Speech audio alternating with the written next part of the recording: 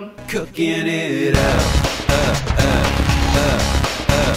Hi, I'm Rachel from Junior Chefs of America, and today we're going to be making veggie wraps. So before we get cooking, we're gonna need to go over the rules of the kitchen, and that's to wash. Okay, let's get cooking. First, we're going to start by cutting our tomatoes. You don't want to eat the stem part, just eat the middle part portion of the tomatoes. Okay, that looks good. So now we have a cucumber. So first we're going to start by taking the skin off of the cucumber. If you like eating the skin, then leave it on because it has a lot of nutritional value. It's always nice to use a knife called a straight edge. It cuts the cucumber nice and evenly so you can have nice thin slices.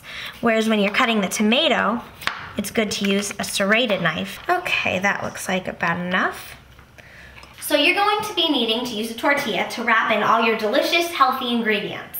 You can use all sorts of tortillas. There's flour, there's wheat. I'm going to use this flour tortilla. We're going to start by spreading on our cream cheese. You wanna make it nice and even.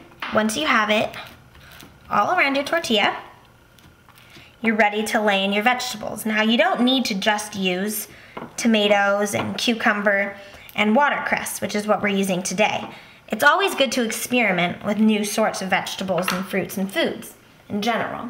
Today I actually experimented for the first time with watercress and it was actually really good, so I'd recommend always trying new foods.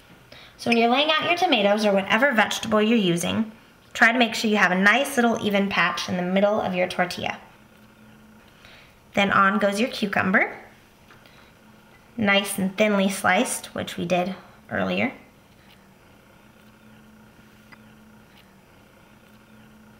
That looks good.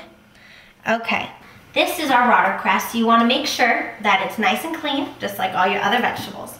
To clean it, you're gonna dip it in the water and then dry it off gently with a paper towel. And so when it's all clean, you just rip off the leaves and sprinkle them on in there. That looks good. And then a little pinch of salt, a little bit of pepper, and then we are ready to roll our veggie wrap. So you're gonna start with the side closest to you and fold it over. And then the one farthest and fold it over so it looks like this. Then you take the right side, fold it on top, turn it towards you, and just roll it around. And there we have it, a veggie wrap cut it in a nice diagonal in half. Open it up and ta-da! There we have it. Bon appetit! You can make it by yourself.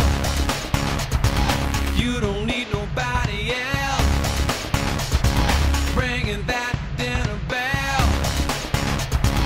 Working on good health. With a